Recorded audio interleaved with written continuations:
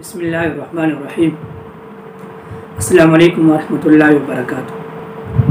मोहतरम सामीन व नाजरीन। बहुत सारे लोग हमसे इस्तारा का एक इस्तारा का अमल पूछ रहे थे कि हम कोई काम करना चाहते हैं और उस काम करने से पहले इस्तारा करना बहुत ही बेहतर होता है। तो कोई ऐसा अमल बताओ ताकि हम इस्तारा कर लें। और हमारे सामने आ जाए कि जो हम काम करना चाहते हैं, वो काम हमारे हक में बेहतर है या नहीं? और ये काम हम करें या न करें? क्योंकि कोई काम भी शुरू करने से पहले इस्तारा करना बहुत ही ज़रूरी होता है।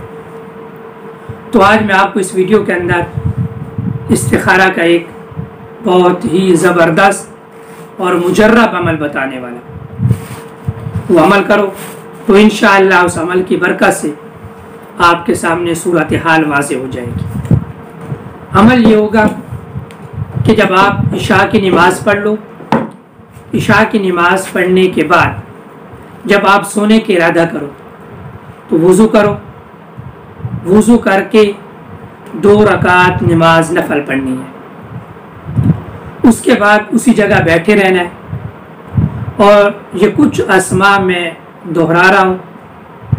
और इन आपको ये असमा स्क्रीन पर नज़र भी आ रहे होंगे, ताकि आपसे किसी किस्म की गलती ना हो और आपको याद भी रहे। ये आसमा पढ़ने हैं।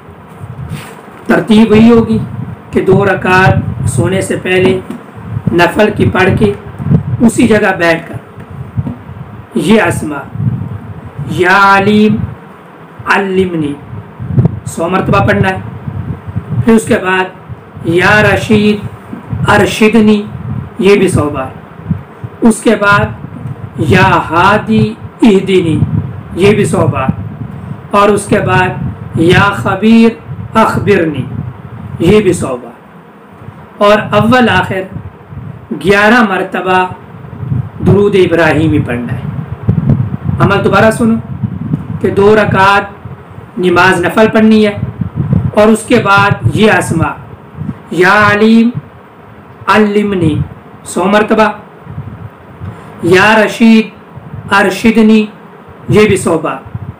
फिर उसके बाद या हादी इहदिनी, ये भी सौ बार।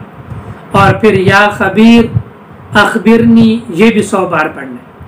और अव्वल आखिर ग्यारह मरतबा दरूद इब्राहिमी पढ़ना है। और उसके बाद सो जाओ। इन ख्वाब के अंदर जो सूरत हाल होगी आपको नज़र आ जाएगी। और अगर पहली मरतबा नज़र नहीं आई तो ये अमल हर रात करते रहो। तो इन इस अमल के बाद आपके सामने पूरी सूरत हाल वाजी हो जाएगी। बस इस्तारा करो। इन अल्लाह रब्ज़त आपके हक़ के अंदर बेहतरी फरमाए।